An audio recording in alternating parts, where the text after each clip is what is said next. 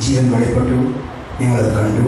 അതിന് സാക്ഷ്യം നൽകുകയും ചെയ്യുന്നു സ്നേഹത്തെ കുഞ്ഞിനാൾ മുതൽ അത്ഭുതം കണ്ടിട്ടുള്ള ഒരു വ്യക്തിയാണ് ഞാൻ.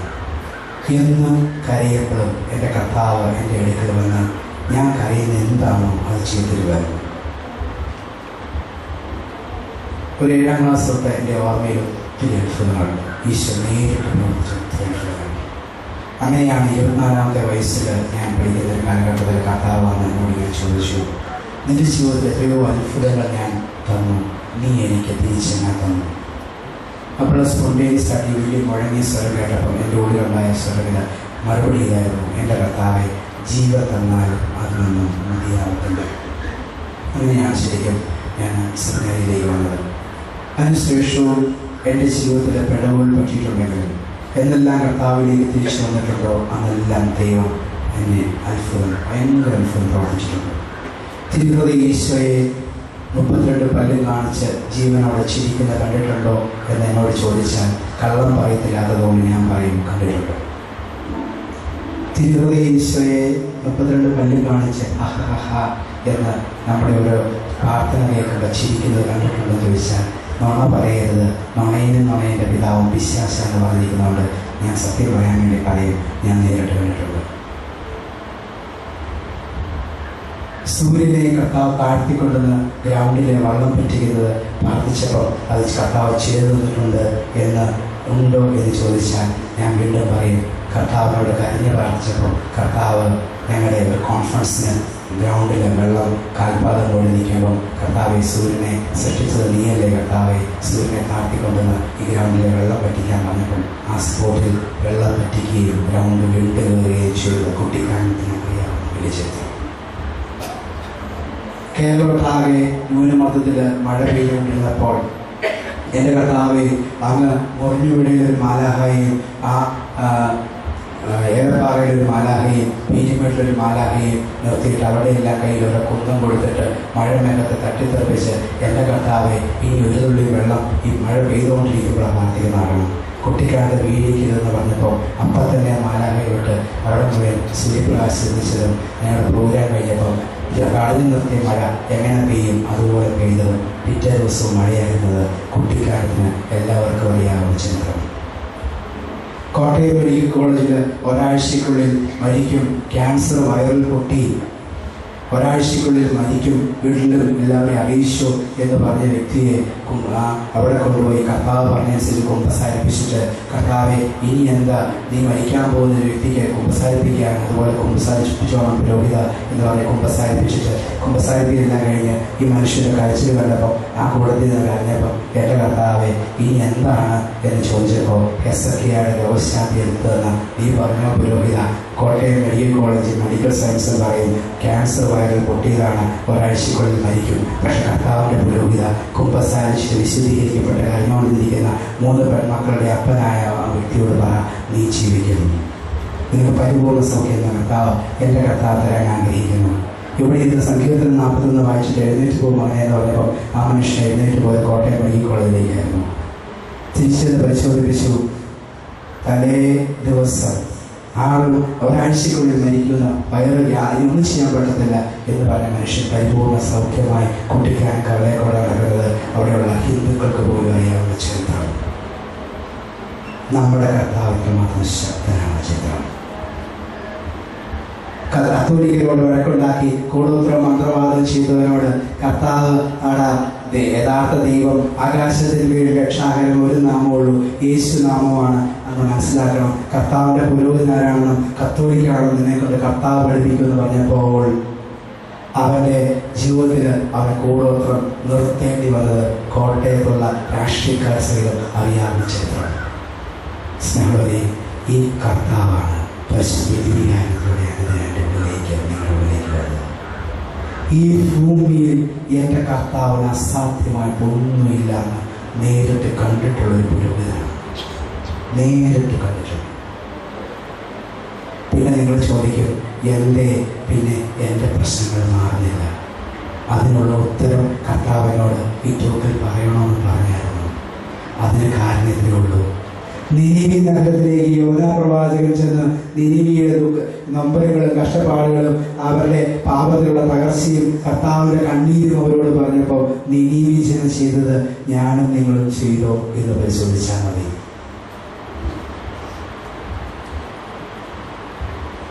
വചനത്തിൽ പറയുന്നുണ്ട് യോന പ്രവാചകന്റെ പുസ്തകത്തിൽ രാജാവും പ്രജകളും മൃഗങ്ങൾ പോലും ചാക്കുടുത്ത് ചരം പോസി ചാരത്തിലിരുന്ന് അവരവരുടെ ദുഷ്ടതയെല്ലാം ഉപേക്ഷിച്ചു. കർത്താവ് സ്വർഗത്തിൽ നോക്കിയപ്പോൾ ജനം തങ്ങളുടെ ദുഷ്ടത ഉപേക്ഷിച്ച് കണ്ടപ്പോൾ അവരുടെ മേലുള്ള എല്ലാ സൃഷ്ടിയും കർത്താവ് പിൻവലിച്ചു. ആ പ്രവചനം നടത്തിയ യോന പ്രവാചകൻ പോലും കർത്താവിനോട് അതിശക്തമായി കോപിക്കുന്നുണ്ട്. കർത്താവ് നിന്റെ സ്വഭാവം ഇതാണെന്ന് എനിക്കറിയാം. നീ അതിരിട്ട കരുണയാണ് നീ എപ്പോഴും ക്ഷമിക്കും അതുകൊണ്ടാണ് ഞാൻ നിനിവിലേക്ക് പോകാൻ പറഞ്ഞപ്പോ ഞാൻ അങ്ങോട്ട് പോകാതിരുന്നത്. നീ ക്ഷമിക്കും. നീ കരുണയാണ്. ഈ ജനമെന്ന് കഴിഞ്ഞാൽ അവരുടെ പാപം ഉപേക്ഷിച്ചാൽ നശിപ്പിക്കും നശിപ്പിക്കുന്നത് പറയാൻ വേണ്ടി പ്രവാചകനായി എന്നെ നീ പറഞ്ഞുവിടും. ജനം ഇരുന്ന് കഴിയും. അവർ ദുഷ്ടത ഉപേക്ഷിക്കും.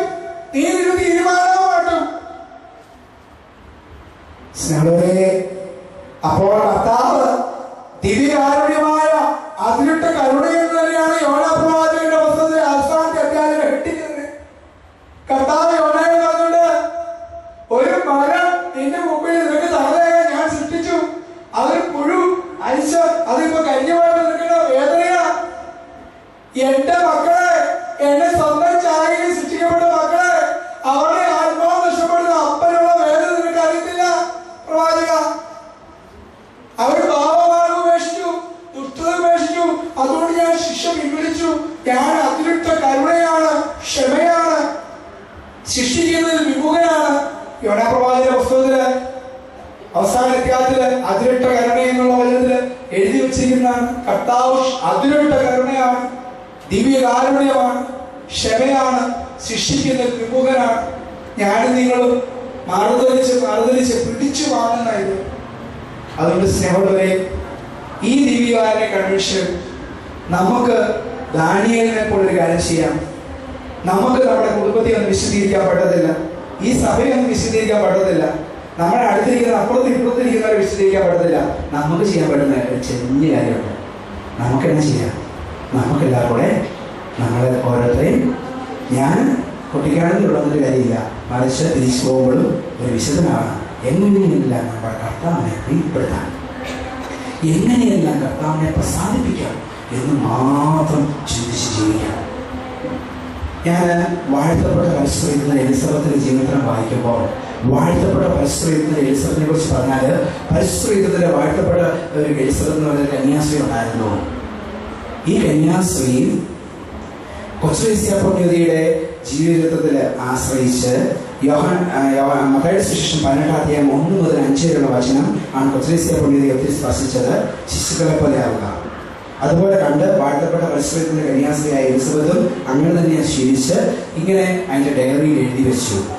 എഴുതി വെച്ചതാണ് കർത്താവിനെ പ്രീതിപ്പെടുത്താൻ വേണ്ടി ഞാൻ ഒരു പുണ്യവതിയാകും. എന്നാ പറയുന്നത് കർത്താവിനെ പ്രീതിപ്പെടുത്താൻ വേണ്ടി ഞാനൊരു പുണ്യവതിയാകും. കർത്താവിനെ സ്നേഹിക്കാൻ വേണ്ടി ഞാൻ ജീവിക്കും. നമുക്കങ്ങനെ ചെയ്യാൻ പറ്റുമോ? ശരിക്കും പറ്റുമോ ആഗ്രഹിക്കുന്നതാണ് ചോദിച്ചത്. കർത്താവിനെ പ്രതി ഒരു പുണ്യവതിയാകുമോ ചേച്ചി ചോദിച്ചു സിസ്റ്റർ ചോദിച്ചു അടുത്തിരിക്കുന്നവർ ചോദിച്ചേ കർത്താവിനെ പ്രീതിപ്പെടുത്താൻ വേണ്ടി ഒരു പുണ്യവാനാവുമോ ചോദിച്ച ചട്ടമാരെ ഈ ഒരു ചോദ്യമായിരിക്കാം ഈ അഞ്ച് വചന പ്രഭാഷണങ്ങളെ ദിവസം വരുമ്പോൾ ഏറ്റവും തീ വരുന്ന ചോദ്യം.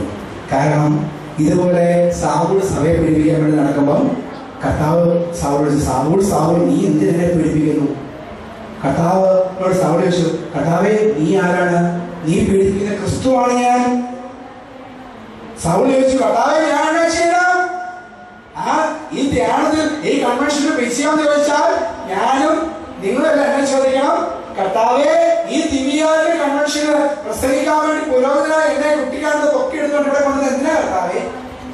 നിങ്ങളെല്ലാം ചോദിക്കണം കർത്താവേ ഈ ദിവസങ്ങളിൽ പതിന പ്രഭാഷണം കേൾക്കാൻ വേണ്ടി ഞങ്ങളെ കൊണ്ടുവന്ന എന്തിനാ കർത്താവെ? എന്നിട്ട് സാവൂൾ ചോദിച്ചോട് ചോദിക്കണം. കർത്താവെ ഇനി ഞങ്ങൾ എന്ത്? എന്ത്? ചെയ്യണം. ഇനി ഞങ്ങൾ എന്ത് ചെയ്യണം? ഇനി ഞങ്ങൾ എന്ത് ചെയ്യണം? ഇതാണ് ഈ കൺവെൻഷൻ പറയേണ്ട ചോദ്യം. സ്നേഹ കർത്താവിന്റെ രണ്ടാമതിന് മുമ്പ് കർത്താവിന്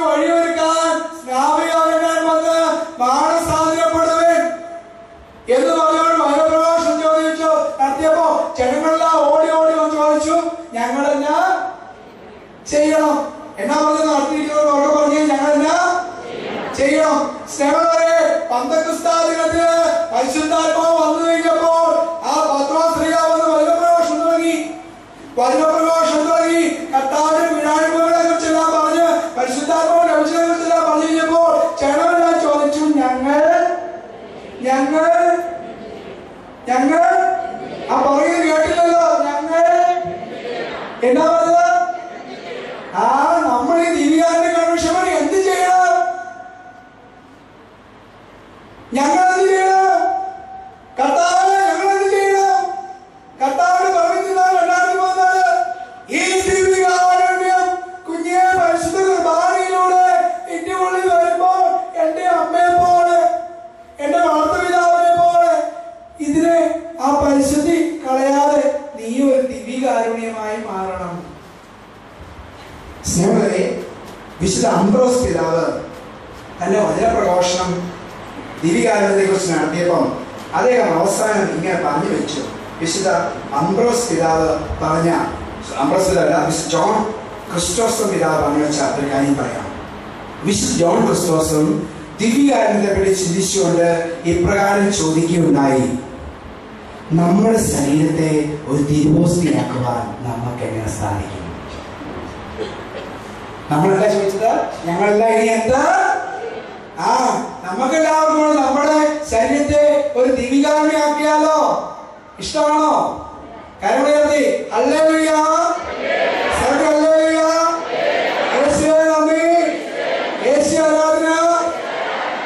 മഹത്വം അച്ഛൻ പറഞ്ഞതല്ല വിശുദ്ധ ജോൺ ക്രിസ്റ്റോസും പറ്റി പ്രസംഗത്തിൽ ഞാൻ പറഞ്ഞു അദ്ദേഹം ചോദിച്ചു ചോദ്യം ഇതാണ് കേട്ടോ വളരെ കേട്ടിട്ടുണ്ട് എല്ലാവരും ചോദിച്ചു നമ്മുടെ ശരീരത്തെ ഒരു തിരുവാസ്തിയാക്കുവാൻ നമുക്ക് എങ്ങനെ സാധിക്കും? എല്ലാവരും അപ്പുറത്തെ ഇപ്പുറത്തെ നോക്കി. നോക്കിയിട്ട് ഒരു ദീപികാരനെ പോലെ തോന്നുന്നുണ്ടോ? ഒരു ദീപികാരനെ പോലെ തോന്നുന്നുണ്ടോ? ഏ? കുറച്ചൊക്കെ ദിവികാരനായിരിക്കും സഹനമുള്ളതെല്ലാം ദീപികാരണ്യങ്ങളാ കേട്ടോ. സഹനമുള്ളതെല്ലാം ദിവികാരുണ്യമാ കാരണം പ്രഭാഷണ പുസ്തകം രണ്ടാമത്തെ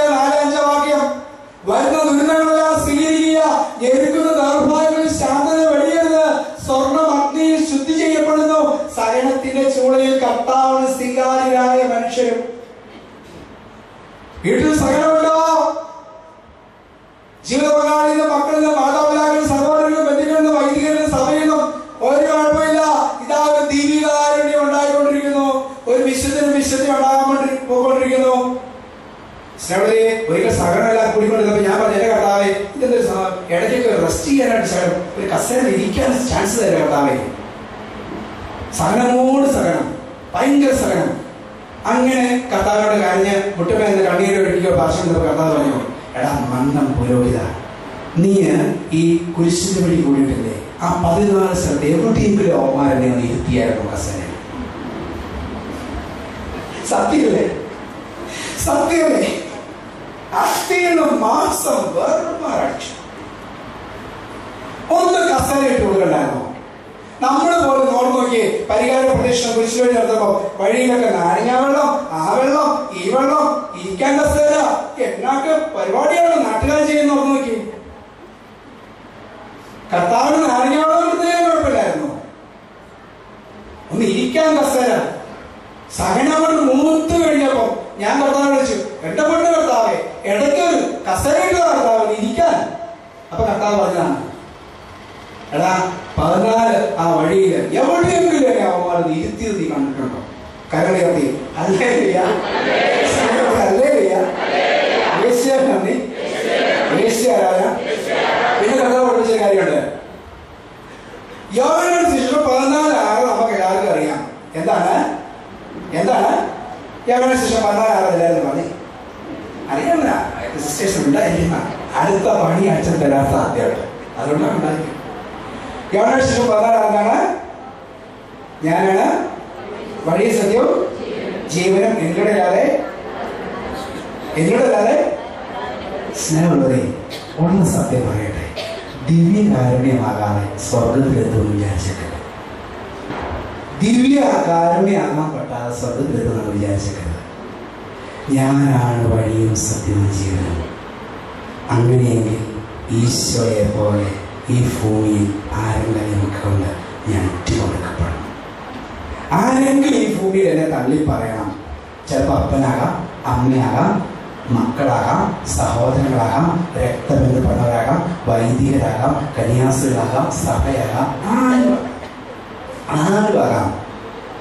സഹനം എന്ന് പറയുന്നത് നമ്മളെ ഏറ്റവും സ്നേഹിക്കുന്നവർ നമ്മൾ ഉപകാരം ചെയ്തവർ നമ്മളെ തള്ളി പറയുന്ന സഹനം എന്ന് പറയാൻ പറ്റുന്നു വെറുതെ ഇരിക്കുന്ന ഒരാൾ തള്ളി പറഞ്ഞ സ്ഥലമില്ല എന്നാ നമ്മൾ പറയുന്നത് ചെയ്തു. നമുക്ക് അവരുടെ തന്നെ കടപ്പാടുണ്ട് ഈശോ പന്ത്രണ്ട് അപ്പസ്തന്മാരെ ഹൃദയത്തിലിട്ട് നെഞ്ചിനോട് ചേർത്ത് വെച്ച് ആ ചൂട് കൊടുത്ത് വളർത്തി അതിലൊരുത്തിന് ഒട്ടിക്കൊടുത്തു.